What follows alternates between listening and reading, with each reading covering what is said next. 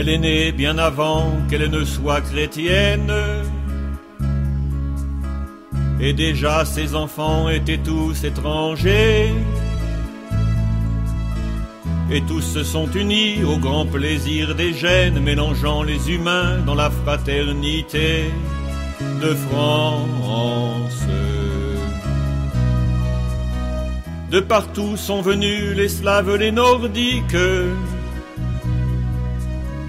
les Grecs et les Romains, même les Ibériques, les Bretons, les Normands, Maures et Levantins, pour tous se réveiller, tes fils un beau matin. Ma France, dire qu'on est français ressort de ce principe bûcheron alsacien ou basque avec sa pipe.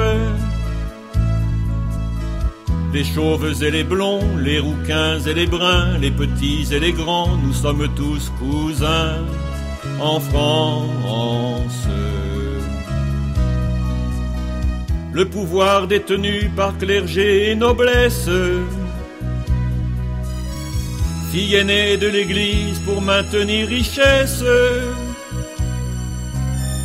les rois t'ont baptisé et Villers Cotteret pour t'uniformiser t'imposa le français. Ma France.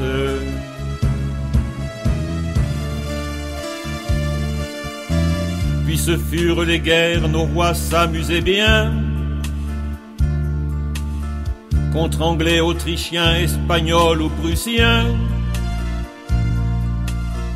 envoyant à la mort gens de la populace, en leur affirmant fort qu'ils étaient une race, la France.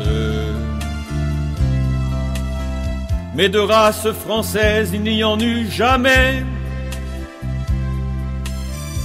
Il n'y a qu'une race et c'est déjà assez. Assez pour que la peur devant les différences entraîne le mépris, la haine et la violence. En France, Polonais, Italiens ont creusé dans nos mines. Espagnols, Portugais ont bâti nos maisons.